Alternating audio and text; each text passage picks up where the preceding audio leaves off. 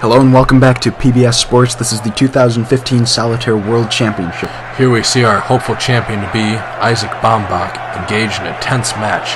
He's either on the verge of victory or crippling despair at this point.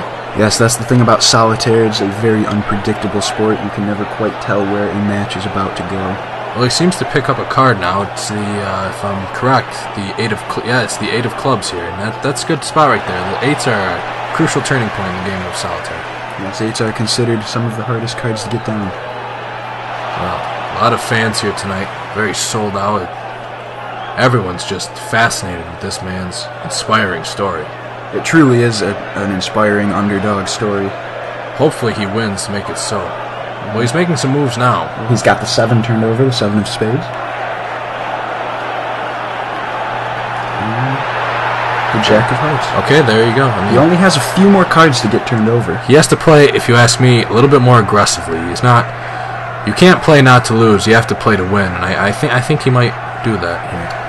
Yes, he, he has slowed down considerably since the beginning. It may be due to fatigue. Yeah, you can easily tire yourself out mentally, physically, and even spiritually. Yeah, people people don't realize that typically, but it is an issue. Well, now he just turned over a card and put it down. Seems to really. Uh oh. He, Oh, he no. seems to be stuck. Yeah, this this is this is bad. He better he better get himself out of this one.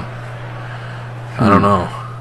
The fans The crowd look looks worried. Yes, He is deep in thought. Obvi- He is exhausted. trying to work himself out of this problem.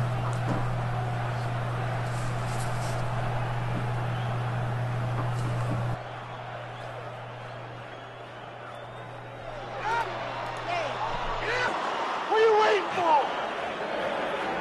And he seems to have gotten a sudden surge of inspiration. He's onto something right now. He's onto something. He's laying down card after card.